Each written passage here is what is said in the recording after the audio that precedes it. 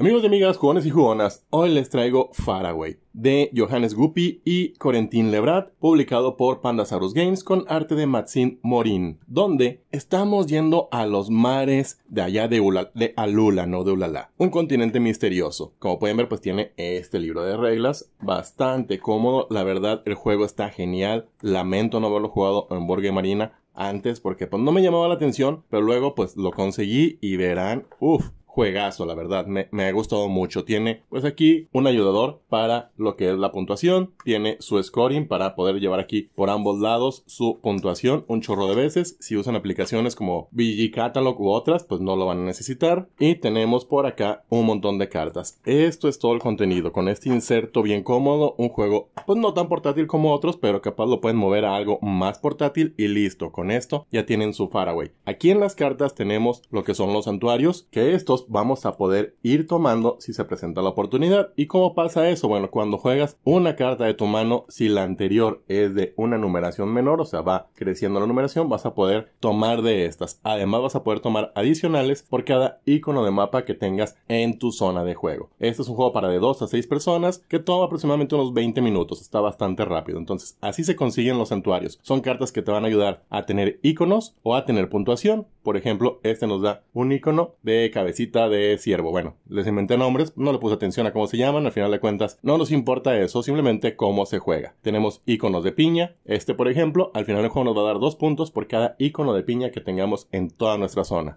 Y además de los santuarios, vamos a tener lo que son estas cartas, que son las diferentes tierras de Alula, a donde vamos a ir yendo tienen todos diferentes símbolos, tienen diferentes cosas, algunas tienen puntuación, algunas pues simplemente son cosas adicionales. Esta por ejemplo simplemente es una numeración 4, trae un anillo de sol y nos otorga un símbolo de piña y un símbolo de roca. Esta 38 tiene un símbolo de luna, nos otorga una roca, pero al final del juego solamente vamos a poder puntuar 3 puntos por cada mapa si en nuestra zona tenemos visible un ciervo y una piña. Entonces teniendo este ya tenemos la mitad de lo que se necesita para puntuar. Y lo interesante del juego es que vamos a ir jugando las cartas, pero lo vamos a puntuar en orden inverso de cómo las jugamos. Pero bueno, déjenme lo acomodo y les explico cómo es que se juega Faraway.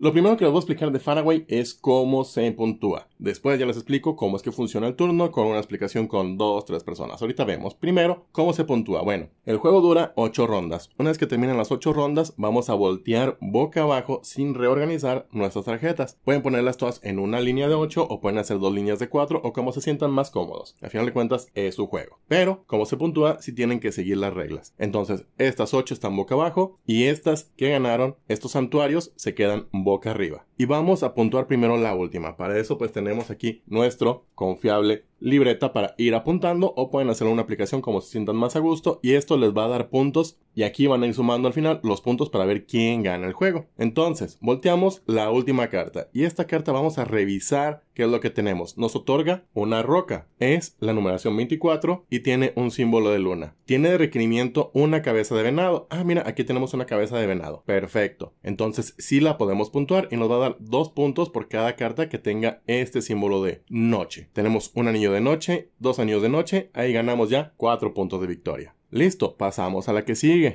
Ahora, esta dice que nos va a dar 3 puntos por cada anillo de noche. Tenemos un anillo de noche, dos anillos de noche, son 6 puntos, ya sumamos 10. Esta no tiene ningún requerimiento y no nos da ningún símbolo. La que sigue nos da un símbolo de mapa. Y además dice aquí que requiere dos cabezas de venado y una piña. No hay cabezas de venado más que una, así que no vamos a poder puntuarla.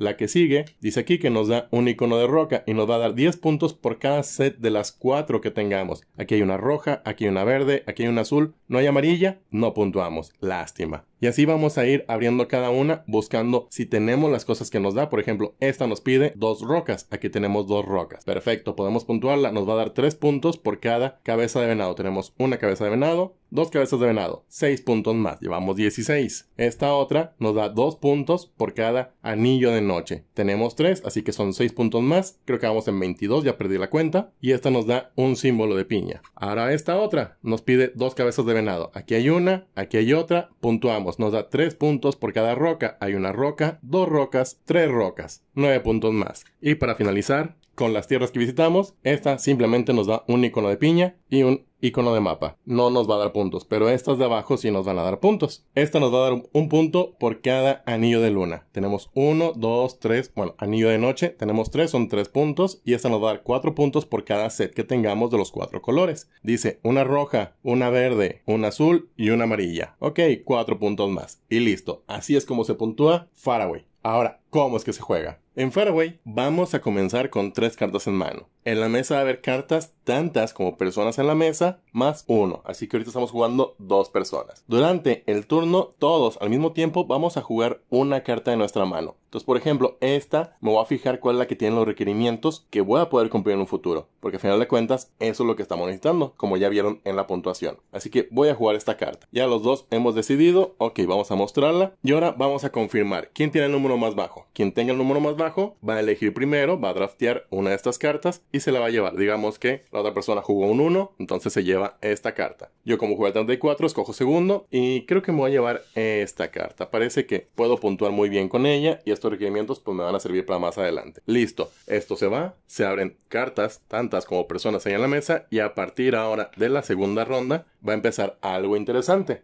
Primero, igual vamos a jugar una carta. Creo que voy a jugar primero esta y después jugaré esta. ¿Y qué es lo que va a pasar? Bueno, después de que verificamos las cartas, además de ver quién tiene la más baja para ver quién elige primero, por ejemplo yo voy a agarrar esta de aquí, verificamos si el número es ascendente. Si así lo es, robamos una carta de santuario. Esta carta de santuario automáticamente se agrega. Pero si tuviéramos, por ejemplo, en lugar de esta, esta de acá, además vamos a agarrar cartas adicionales por cada símbolo de mapa que tengamos. En este caso, de estas dos, una la tenemos que seleccionar y la otra la vamos a descartar. Y listo. Esto va a continuar entonces durante 8 rondas. Una vez que acaban las 8 rondas y que tenemos las 8 cartas en la mesa, vamos a proceder a puntuar. Imaginemos otro turno. Volteamos aquí una, dos y tres. Regresé a lo que tenía en un comienzo, la carta que me había salido me la volví a quedar y ahora sí, ¿qué podemos hacer? Voy a jugar esta de aquí. ¿Me conviene esa? Es que 43 no tengo cómo subir, a lo mejor me conviene, no, si vamos para arriba y luego ya bajamos. Entonces yo juego esta, allá juegan su carta, la volteamos, su carta más baja, escoge una,